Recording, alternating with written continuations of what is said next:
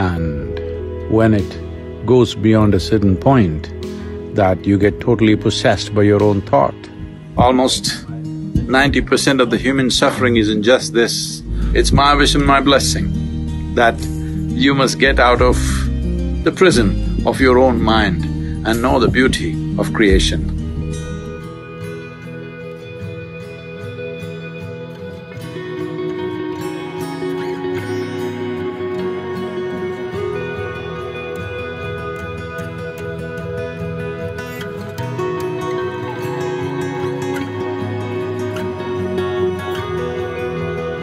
Lethargy comes from overconsumption of either food or thought. One may think how overconsumption of thought would bring lethargy, though everyone can understand overconsumption of food definitely brings lethargy. Well, if you become consumed by thought, you will see you would not like to move out of your bed. I did not talk about thinking, I'm talking about overconsumption of thought. That means thought is continuously flowing without your effort without your focus, without your intent. Once it becomes like this, you will see naturally you feel like avoiding physical activity. And when it goes beyond a certain point, that you get totally possessed by your own thought. Well, there are ugly names to describe that in medical terms. It's important there is a certain amount of moderation in consumption of food and endless amount of thought that could happen. Thinking consciously and just consuming or living upon thought or being consumed by thought are very different things. That is an unfortunate reality that for a whole lot of people, this distinction is not apparent and the price that humanity is paying for that is not a fair price.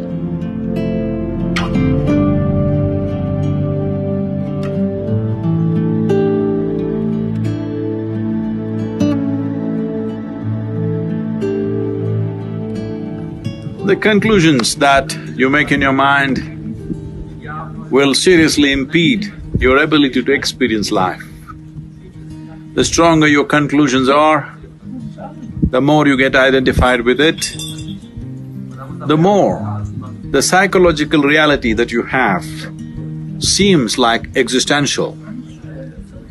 Almost ninety percent of the human suffering is in just this. You misunderstand your psychological drama to be real. It's your drama. You can play it whichever way you want. If you're a good director of drama, you would make it the way you want it, otherwise it's happening haphazardly. Well, this is the reality of existence, how beautiful it is, but most people choose to live in their mind because they have made strong conclusions and it's no more a choice as to where they live. It's time you live on this planet, experience the beauty of creation and also the presence of the Creator in this creation. Just pay enough attention to every aspect of creation and you will see the presence of the source of creation in it. This is what you need to experience. The psychological drama is your making. It is too puny compared to the existential drama that's happening here. It's time you enjoy this. It's my wish and my blessing that you must get out of the prison of your own mind and know the beauty of creation. The fundamental, the most fundamental aspect that you need to take care of is that you don't make conclusions. If you do not make conclusions, the doors of your mind will not close.